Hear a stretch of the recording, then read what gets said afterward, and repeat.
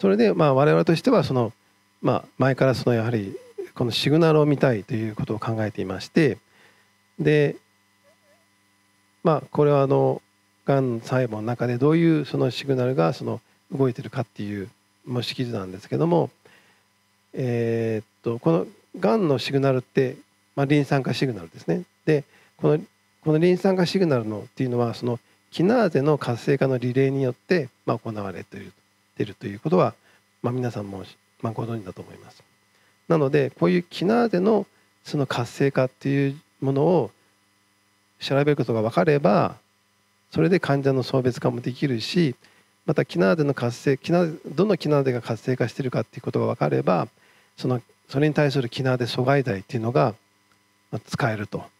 でキナーゼ阻害剤って結構、まあ、ありますので、まあ、そういうものを使ってその治療の選択ができるのではないかというふうに、考えています。で、まあ、これがその現在その実際にその、えー、臨床で使われてたり臨床治験に入っているこの薬の割合ですけども、まあ、1位2位を占めるのがその GPCR の、えー、阻害剤とそれからキナーゼの阻害剤になります。でキナーゼ518種類あるって言われてますけども、まあ、まだまだその、えーと、実際に臨床で使われたり治験に上ってるキナーゼっていうのは少ないんですけども実際にその化合物としてはかなりの種類のキナーゼに対する阻害剤はできているのでまあそういうものがもしキナーゼの活性が分かれば使えるんじゃないかとと我々は考えています。でそのキナーゼの活性化とかそのリン酸化のシグナルの活性化っていうのは、まあ、今までなかなかできなかったっていうのはそのそのシグナルのそのえっ、ー、とそのリレーの例えばキナーゼのその活性化だとか、えー、とそのキナーゼのそのキナーゼ活性化ですね。それがまあその調べる術があまりなかった。例えばその有名なキナーゼの、えー、と活性化に関わるリン酸化サイトっていうのは、まあ、いくつか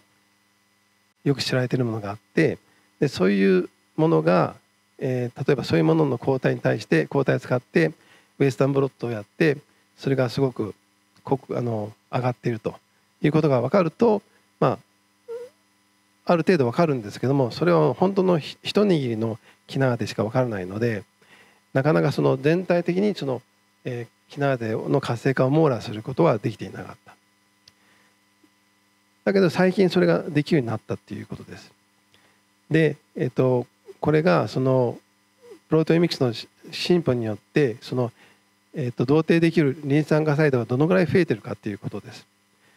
でこれが2000年ぐらいまでは全くもうほとんどあのゼロですね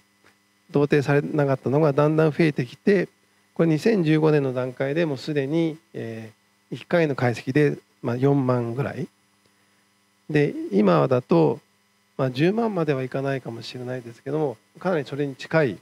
リン酸化サイトが、まあ、見えてきています。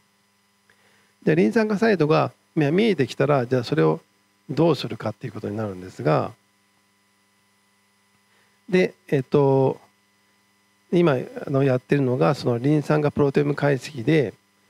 えーまあ、STY に関しては、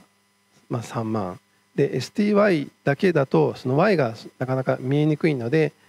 Y、まあ、チロシンですねチロシンをあのさらに特異的にこう見る方法で見ると、まあ、2000ぐらい見えるということが分かってきました。でその見えたリン酸化サイトのうちキナーゼ自身のリン酸化サイトも見える場合もありますのでキナーゼ自身のそのもうこのリン酸化が高いと活性化してるこのキナーゼが活性化してるっていうことが分かってるようなものはそのキナーゼ自身の活性化リン酸化サイトの定量値を調べますしそれが分からないものがまあほとんどなんですがその場合はそのキナーゼの基質となるタンパク質のそれのリン酸化の定量値をもとにその責任キナーゼの活性を予測するということをします。でで予測されたキナーゼをこのパスウェイ上にまあえっ、ー、と並べてみて例えばまあこういうえこの星印のついたキナーゼが活性化してるってことが分かったらこのパスウェイが活性化してるっていうことが分かるというそういうことになります。で本当にそれのキナーゼが、えーと、活性化してるかっていうのをこの阻害剤を使って、まあ、調べてみると実際にそのキナーゼ阻害剤を使うと,、えーと、キナーゼ X のインヒビターでは効かないけどもキナーゼ Y のインヒビターではよく効くというようなことになりますのでこのキナーゼがキナーゼ Y はこの、えーと、がんの中では活性化しているということが分かるとその患者さんにはこのキナーゼ Y のインヒビターがよく効くんじゃないかということで、え、患者の送別化と、まあ、精密医療の実践ができるというということです。でそのキナーゼの活性値の予測の方法なんですけど、えーと、この KSEA キナーゼサブストレートインリッチメントアナリシスという方法をあの用いています。でまああの原理としてはさっき言ったようにそのキナーとこのキナーゼがリン酸がプロテオムデータがあってでキナーゼ基質情報っていうのが今あのなんだっけフォスフサイトプラスっていうあのデータベースに今8,000ぐらい載っていてであるキナーゼ X はプロテイン1の Y の287を活性化する、えーと、プロテイン2の S の29を活性化する。プロテイン3の T の42を活性化するっていうことが分かっていますので分かっているとするとこの基質のこのリン酸化サイトというものをこのプロテオムデータで、えー、見つけてでそれをこうプロットしていくわけです。でそうすると、まあ、あるキナーゼの基質っていうのはこの123456789個、まあ、あるとしてでその、まあ、大部分がその高知を示している場合はその、えー、この基質を基質とするキナーゼの活が活性化しているでしょうということをあのと推測するという方法がこのでそのスコアがこのこのようなまあ、数式で表されるというのが、えー、この原理です。で、まあ、AKT1 のサブストレートグループはこのこのぐらいあって、まあ、これ例ですけども、まあ、このような、えっと、値を取ると。だからまあ活性化しているのが多くてあのスコア的には高いでしょう。でアークに関しては、まあ、低い方が多いのでこれは、まあ、むしろ不活性化しているかなっていうような予測が立てられるということになります。はいで、まあ、あの我々もこの方法を使ってあの肺がん細胞で、えー、実際にあのリン酸がプロテオムデータを取ってでその KSEA という方法でどんなキナーゼ活性化してるかなっていうのを調べたところ、まあ、この、まあ、左側に棒棒グラフが出てるのは活性化してるサイト。あキナーゼで右側の方はあの不活性化してるものなんですがあのあでごめんなさい。この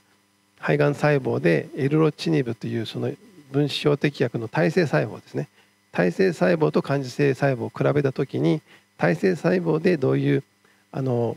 キナーゼが活性化しているかっていうのを調べました。そうするとまあこのよここにあるような、まあ、キナーゼが活性化しているということが分かってででそれが本当に、えー、正しいかどうかっていうのを例えば CDK であれば CDK の阻害剤によってその増殖抑制効果があるという。これはあのエルロチニブでは増殖抑制効果がないんだけど CDK 阻害剤を使うと増殖抑制効果が出てくるということで、まあ、検証をするということがを、まあ、あの報告してきました。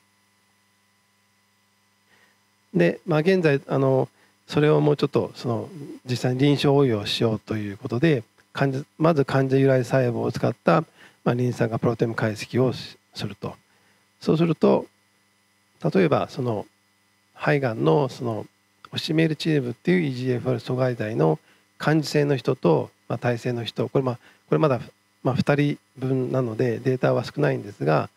えーまあ、このようなあのパターンを取る。これは、えっと、黄色が高いのかな？で青が低い。で大腸がんのセツキシマブのその感受性の人と、まあ、対戦の人の、えーと、パターンを見ると、まあ、このような感じになってこれパッと見るとやっぱり人それぞれ全然違うんですよね。なので、まあ、非常にそのやはり患者さん一人一人によって個性があってやはりその一緒たにその同じあの薬剤を使うのが適切かどうかっていうのは分からないということになります。まあこれあの症例数を増やしていかないと何とも言えないんですけども例えばただこういうところこの四角で囲ってあるようなところっていうのは耐性群でま高い。あと大腸がんに関しては、えっと、こういうところですかね、えー、耐性群で高い。というような、まあ、キナーゼもいくつか、まあ、出てきて、ま、出てきてますので、まあ、違いのあるキナーゼっていうのはいくつか見られるということが分かります。それから、えーと、どういう人がそのどういうキナーゼが活性化しているかっていうのを調べるだけでなくその薬が効いてるかどうかっていうのの薬効評価にも使えると。で例えばこの、えーと、これはその患者由来細胞を使ってそこにその、えーと、阻害剤を振りかけてその処理前後で活性がどういうあの活性が下がるか EGFR の阻害剤なのでまあ、普通 EGFR の EGFR とかその EGFR の下流の因子があの活性が下がるということが予測されるんですけども例えば、えー、とこの EGFR そのものの標的に関してはここに書いてあるようにその感受性の人っていうのは大体下がっています。それからその下流の、えーまあ、ARC2 とか ARC1 っていうのも、まあ、感受性の人っていうのは、まあ、下がっていますただしそのこの体制になった人も下がっている人もいると。でそういう人はその EGFR の阻害度は効いてるんだけど、えー、それ以外のバイパスパスウェイが働いてそれで、えーと、増殖は抑えられてないということが、まあ、分かるという。だからまあその EGFR の阻害剤のパスウェイがその下がってるかどうかっていうのを、まあ、ある程度判断して、まあ、それであのこの薬が効いてるのかどうかっていうのを、えーと、予測するっていうことはある程度できるということになります。で実際そのじゃあ効いてない人、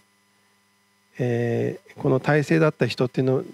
じゃあ耐性だった人には次どういう薬をあの使えばいいかっていうことで、えー、この赤で示したようなあのキナーデっていうのがそのターゲットになるんではないかとということも分かるということです。はい、で今のその患者由来細胞患者患者さんのあの組織から培養細胞を作ってそれであのえーと、薬剤を振りかけたりそのリン酸化のプロテム解析をやったやってキナーゼ活性を調べたり、まあ、したんですけどもっとやはりその生体に近い状態の、まあ、リン酸化状態を見たいということで、まあ、現在そのやあのやってるのはあの患者さんのその生検検体ですね。でこれは胃がんの患者さんの生検検体なんですが実際のその内視鏡で、えー、胃がんの部分をこうつまんできてで即座に凍結してで、えー、とそれを、えー、リン酸化プロテイン解析をすると。でこれ非常にこう2ミリっていう非常にこうちっちゃな、あの、組織なのでなかなかその、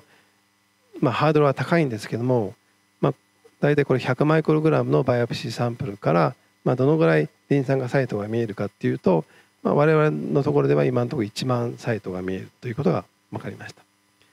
で、まあ、過去の報告で、まあ、こういう報告がなくて、まあ、今まで、まあ、見られた中で、まあ、4 5線が、まあ、最高ですのであの、まあ、技術的にも、まあ、非常にいいとこに行ってんじゃないかというふうに考えています。でまあまあ、これはその実際のそのバイオプシーサンプルを使った、えー、と先ほどのキナーゼ活性を調べたものですけどもあの、まあ、例えばこの4人患者さんがいてで胃がんの中でこの HER2 が陽性の人っていうのは今 HER2 抗体の、えーと、治療のえ、選択に使われてるんですけどもこの2番の人だけがまあ HER2 が非常に高いと。あのそれはあの組織の免疫染色であの告訴待ってるっていう、まあ、そういう臨床的なあの判断なんですが、まあ、そういう人のその実際実際リン酸化プロテイン解析からのキナーゼの活性を見ると、まあ、やはりそのこの上がってる人はあのリン酸化プロテオームでも HER2 のこの Y の1248っていうサイトが上がっていて HER2 の活性化が見えてると。それからもう一つもう一つのサイト活性化に関わるサイトも高くなっている。それからあのその下流の、えー、と CKD1 あこれ CDK1 かな？123の Y の1615っていうリン酸化サイトも上がっているということでまあそのキナーゼそのものの、えー、と自己リン酸化部位とそれから下流の気質のリン酸化部位も上がっているということであの、まあ、波通の活性化がこれで分か分かったということです。はいまあ、ということで、まあ、これまとめなんですが、えー、っとまあ、症例によってキナーゼの活性の個人差は大きいけども、まあ、キナーゼ活性値による患者送別化が可能であるで送別化ができれば治療法の選択も可能になるのではないか。それからもう一つその阻害剤処理後の、えー、変動のキナーゼを調べることによって薬効の評価ができるのではないかということ。それが耐性になったような人の、えーと、活性化しているキナーゼが分かればその耐性克服のためのその新しい薬の、まあ、標的になるのではないかというそういうことが、まあ、今までの解析から分かりましたということになります。で、えっと、最後あのただし今のところですねそのリン酸化サイトが1万とか2万とか見えてもですねそのキナーゼと気質の関係の情報っていうのがまだまだそのデータベースの、えー、が整備されてなくて、まあ、非常にその手薄なんですね。で例えばここで1万3,000個のリン酸化サイトが見えたとしても今のところそれがそのキナーゼの活性の予測に使われたのが5%ぐらいなのでもう少しこのキナーゼの気質のあの関係のデータが充実してきてこれがまあ半分ぐらいでも見えるようになればもっとそのキナーゼの活性化の活性の、えー、が正確に判断できるようになると。と考えています。で、まあ、その解決策として、まあ、これあのネイチャーバイオテックの先月号に、まあ、オンラインで出たものなんですがこのその見えてるそのリン酸化サイトの機能を何とかして調べようということで、まあ、ここでその、えー、と機械学習による AI っていうのが出てきています。で、まあ、どんなことをしてるかっていうとえっ、とまああのいくつかのデータを組み合わせてその組み合そのデータを統合してその,、えーと、そのリン酸化サイトの機能を予測しようということなんですが例えばこれはもうすでに分かっている MAF っていう、えー、あ MAF ネガティブレギュレーターは RNA ポルツ3っていうタンパク質の、えー、もうすでにこう分かっているサイトがこういうマス解析だとか進化だとかあとはモチーフ解析だとかあとはその構造でどういう、まあ、あの動きをしてるかっていうのを見てみると実際にマス解析でたくさんのセルラインとかセルラインとか、えーと、ティッシュだとかそういうサンプルで、えー、見えてるたくさん見えてるところっていうのはやはりその重要な重要なリン酸化部位である。それから進化でもやっぱりいろんな生物種で保存されているようなリン酸化サイトっていうのはやっぱり重要、まあ、これはまあ、まあ、前から言われてることですけど。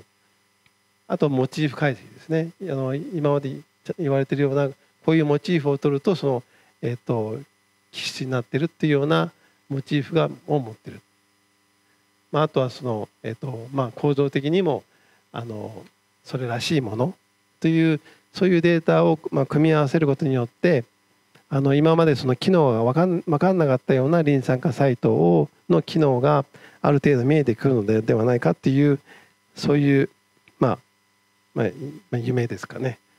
そういうその論文も出てきているので、まあ、これからあの今まで知られてなかったようなリン酸化細胞の機能がだんだんだんだん明らかになってきて来てくれるのではないかということを期待したいと思います。はい、ということで、まあ、これは、まあ、今その考えてることなんですけどまあ、患者さんのそのえの実際の組織の内視鏡の生検検断を取ってきてそのリン酸化プロテオムからキナーゼのパッセの解析をしてでどういう治療法がいいかっていうのを、まあ、まず選択します。で治療直後にもう一回生検検断を取ってきてでもしその治療法治療薬が効いていればそのパッセイがあの活性化が落ちてる。で落ちてる場合はその治療法を継続すると。でもしも薬をやってもそのパスウェが活性化が落ちてなかったら、まあ、別の治療法を考えるという、まあ、そんなことに将来的にまあ生かせないかなとと考えているというのが、まあ、現状です。はい、でちょうど時間なので以上になります。